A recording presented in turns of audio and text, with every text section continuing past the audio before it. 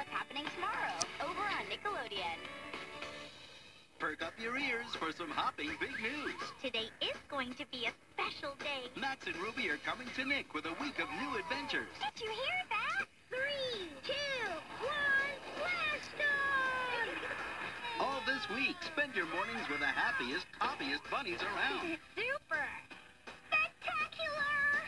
Starting tomorrow morning at 8.30.